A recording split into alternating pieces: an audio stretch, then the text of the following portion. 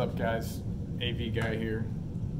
Pro tip, I'm about to tell you something that you've never heard before, probably. I've never heard anybody do it. I'm the only person that have ever seen do it, so I'm sure there's other guys out there that do it, but um, hey, I'll take credit for it if nobody else does it. Let's say your mountain's a stone or brick and you don't feel confident, right? That the, the anchor's not going in, it's slipping out, like you're putting a little tension on it and the and the the mountain just wants to come off the wall. No problem. I want you to find the studs behind that wall, that, that brick wall. behind every brick wall, you've got a structural wall behind it, okay?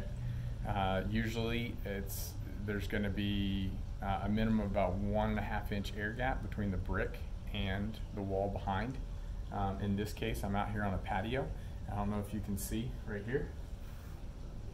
I'll actually come show you. Here is our, there's our wall behind, you can see. There's OSB, okay? So there's a wall behind every brick wall, right? We know that. I want you to find the studs back there. So walk around to the other side of this brick wall. Use your typical stud finder. It's usually drywall. If it's not, you know, you're gonna it's gonna have to be a little bit more tricky. Um, but find your studs. Maybe that's cutting a hole in the brick and, and, and finding your studs that way if it's an interior brick wall. If it's an exterior brick wall, you're going to be walking to the inside of the house. Typically, it's going to be drywall on the other side, and you want to find that stud.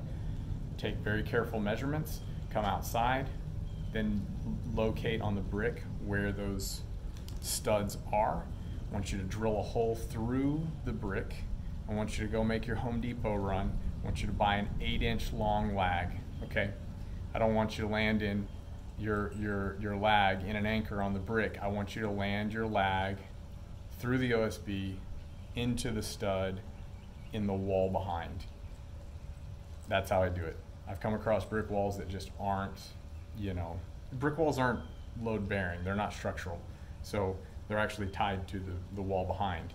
Um, so but the, and, and it's okay to mount to brick walls. They're, they're usually pretty strong. But there is a few cases where the mortar is super soft or the, the, the wall itself is just, you can feel it move. They didn't do a good job securing it, whatever the case may be. In those cases, I send a lag all the way through to the stud behind. As a pro tip, TV will never come down if you're attached to that wall behind. One thing to be careful of don't over tighten that lag. You will literally pull the bricks through to that wall. You just want them to be barely touching. You want that mount to be touching the brick, okay? Um, so, so get your lag, tighten it up, and um, you know just just make it touch the mount and the brick. Don't keep going because it'll pull that brick to the wall behind. Okay.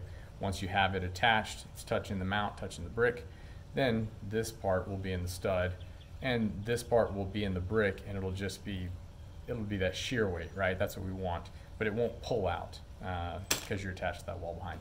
Hey pro tip don't mess up anybody's brick wall though okay? Don't over tighten it. Don't do it.